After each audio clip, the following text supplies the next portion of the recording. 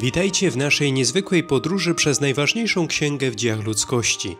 Nazywam się ksiądz Przemysław Krakowczyk, a to jest 286 odcinek naszego codziennego podcastu Biblia w rok. Na początku naszego spotkania pomódlmy się słowami Psalmu 13. Jak długo, Panie, całkiem o mnie nie będziesz pamiętał? Dokąd kryć będziesz przede mną oblicze? Dokąd w mej duszy będę przeżywał wahania, a w moim sercu codzienną zgryzotę? Jak długo mój wróg nade mnie będzie się wynosił? Spojrzyj, wysłuchaj, Panie mój Boże. Oświeć moje oczy, bym nie zasnął na śmierć, by mój wróg nie mówił, zwyciężyłem go. Niech się nie cieszą moi przeciwnicy, gdy się zachwieje, a ja zaufałem Twemu miłosierdziu. Niech się cieszy me serce z Twojej pomocy. Chcę śpiewać Panu, który obdarzył mnie dobrem. Za moment przeczytamy fragment księgi Ezechiela, obejmujący rozdziały 19 i 20. W tych rozdziałach prorok Ezechiel wyraża żal nad upadkiem przywódców Izraela oraz przypomina o historii narodu, ukazując konsekwencje jego buntów i odstępstw od Boga. Tekst ten zachęca do refleksji nad wiernością i odpowiedzialnością wobec Bożych przykazań. A ty śpiewaj żale nad władcami izraelskimi i mów: Jakąż lwicą między lwami była twoja matka, leżała wśród lwiątek i odkarmiała małe. Odchowała jedno z małych, ono stało się lwiątkiem, nauczyło się porywać zdobycz, pożerało ludzi. Narody dowiedziały się o nim i ono w pułapkę ich wpadło. Za kółko w nozdrzach zawiedli je do ziemi egipskiej. Ona zaś, widząc, że się zawiodła, a jej nadzieja przepadła, wzięła inne ze swych małych i uczyniła je lwiątkiem. Biegało ono pomiędzy lwami i stało się młodym lwem. Nauczyło się porywać zdobycz, pożerało ludzi. Napadało na ich pałace, niszczyło ich miasta. Kraj i to, co go napełnia, ulegał przerażeniu na głos jego ryku. Zgromadziły się przeciwko niemu narody z okolicznych krajów, zastawiły nań swoje sidła i w pułapkę je pochwyciły. Za pomocą kółka w nozdrzach umieszczono je w klatce i zawiedziono do króla babilońskiego. Zamknięto je w ciężkim więzieniu by głos jego nie był więcej słyszany na górach izraelskich. Matka twoja była podobna do winorośli, zasadzonej nad brzegiem wód. Była płodna i w latorośle bogata dzięki obfitości wody. Puściła potężne konary, zdatne na berła królewskie. Okazałem był wzrost jej wśród gąszcza gałązek, z powodu swej wysokości widoczna była wśród mnóstwa listowia. Lecz w gniewie została wyrwana, rzucona na ziemię, a wiatr wschodni wysuszył jej owoc. Została złamana, uschły potężne jej konary i ogień je strawił. A teraz zasadzono ją na pustyni, na ziemi wyschłej i suchej. Ogień wydobył się z jej konaru, strawił jej gałęzie i owoce nie będzie już miała potężnego konaru berła do rządzenia. Oto lamentacja, służyć ma jako lamentacja. Roku siódmego, piątego miesiąca, a dnia dziesiątego tegoż miesiąca przybyli niektórzy ze starszych izraelskich, aby się radzić Pana i usiedli przede mną. Wówczas Pan skierował do mnie te słowa. Synu człowieczy, przemów do starszych Izraela i powiedz im, tak mówi Pan Bóg. Przyszliście po to, by szukać u mnie rady na moje życie. Nie pozwolę na to, byście się mnie radzili. Wyrocznia Pana Boga. Jeśli chcesz im ogłosić wyrok, synu człowieczy, jeśli chcesz ogłosić wyrok, to daj im poznać obrzydliwości ich przodków. Powiedz im, tak mówi Pan Bóg. Tego dnia, w którym wybrałem Izraela, kiedy podniosłem rękę przysięgając potomkom szczepu Jakuba, objawiłem się w ziemi egipskiej i podniosłem rękę przysięgając na ich korzyść w słowach Ja jestem Pan, Bóg wasz. Tego dnia podniosłem rękę ku nim, przysięgając, że ich przeprowadzę z ziemi egipskiej do ziemi, którą dla nich wybrałem, opływającej w mleko i miód, która jest klejnotem wśród wszystkich krajów. I powiedziałem im, niech każdy odrzuci bożki nęcące jego oczy, nie kalajcie się bałwanami egipskimi, ja jestem Pan Bóg wasz. Lecz oni zbuntowali się przeciwko mnie i nie chcieli mnie słuchać. Nie odrzucili bożków nęcących ich oczy i nie wyzbyli się bałwanów egipskich. Postanowiłem więc, że zapalczywość moją wyleję na nich, że uśmierzę gniew mój na nich w ziemi egipskiej. Sprawiłem jednak, że imię moje nie doznało zniewagi na oczach narodów pogańskich, wśród których przebywali, i na oczach których dałem im poznać, że ich wywiodę z ziemi egipskiej. I tak wywiodłem ich z ziemi egipskiej i zaprowadziłem na pustynię. Dałem im moje prawa i obwieściłem nakazy, które gdy człowiek zachowa, żyć będzie. Dałem im także szabaty, aby były znakiem między mną a nimi, aby poznano, że ja jestem Pan, który ich uświęca. Ale dom Izraela zbuntował się przeciwko mnie na pustyni. Nie postępowali według moich praw, moje nakazy odrzucili, które gdy człowiek zachowa, dzięki nim żyje. Również i szabaty moje bezcześcili. Przeto zapowiedziałem, że gniew mój wyleje na nich na pustyni, aby ich wyniszczyć. Sprawiłem jednak, że imię moje nie doznało zniewagi na oczach tych narodów, przed oczami których ich wyprowadziłem. Co więcej, podniosłem rękę przeciwko nim na pustyni, przysięgając, że ich nie wprowadzę do ziemi, którą im dałem, opływającej w mleko i miód, to klejnot wszystkich krajów, ponieważ odrzucili moje nakazy i według praw moich nie postępowali i bezcześcili moje szabaty.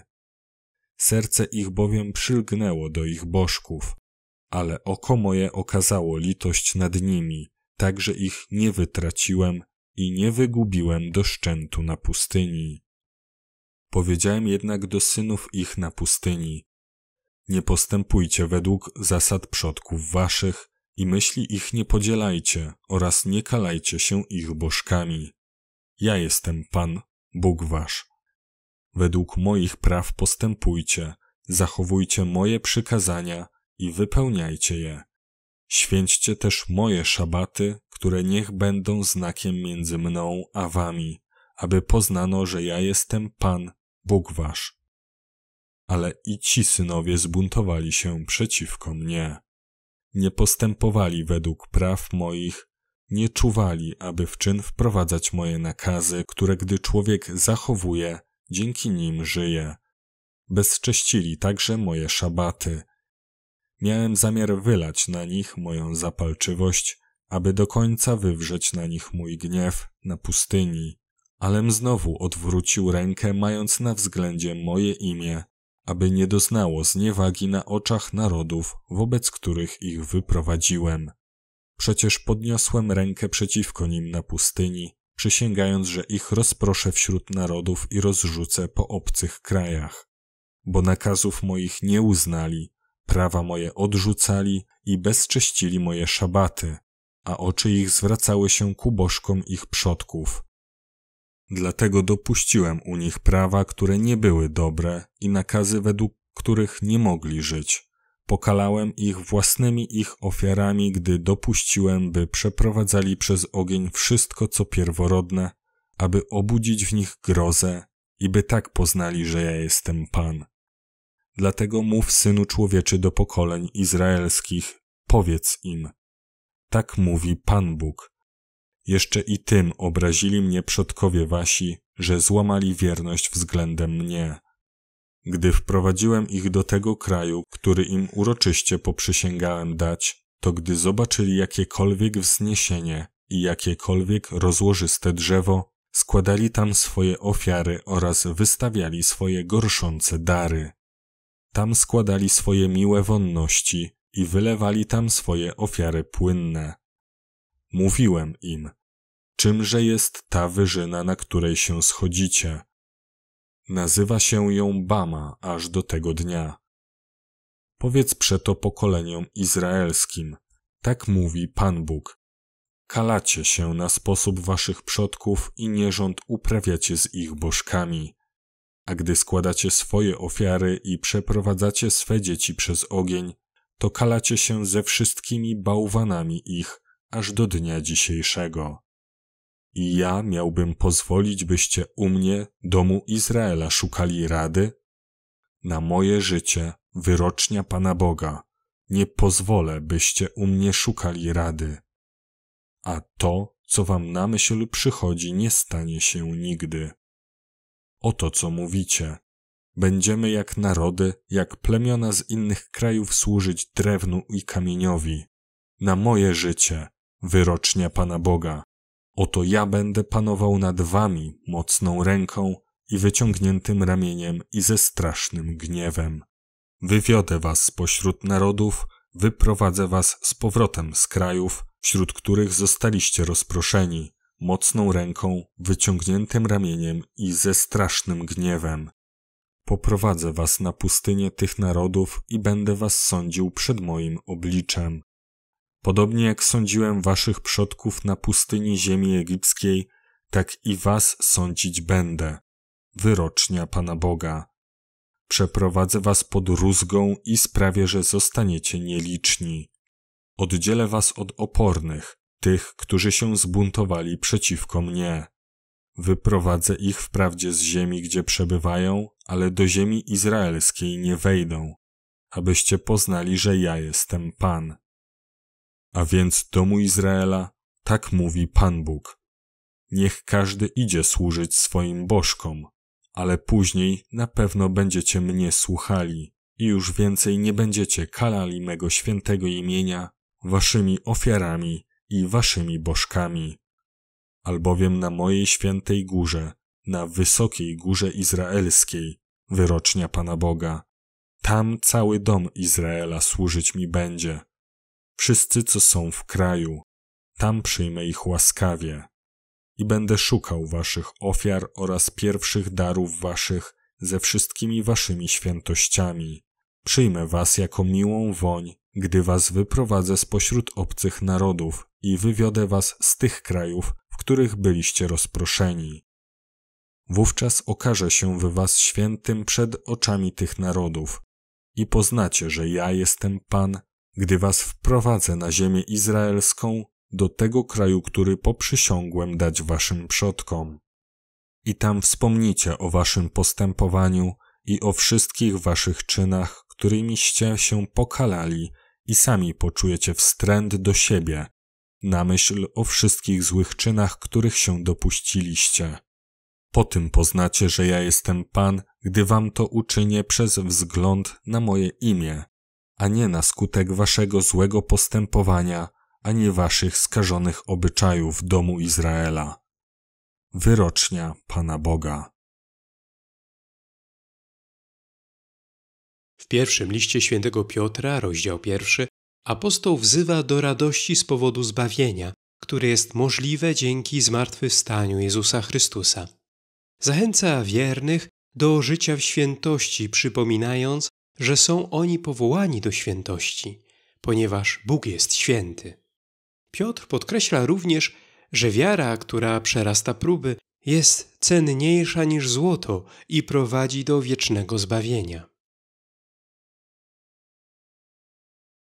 Piotr, apostoł Jezusa Chrystusa do wybranych przybyszów wśród diaspory w Poncie, Galacji, Kapadocji, Azji i Bitynii, którzy wybrani zostali zgodnie z tym, co przewidział Bóg Ojciec, aby w duchu zostali uświęceni, skłonili się do posłuszeństwa i pokropieni zostali krwią Jezusa Chrystusa.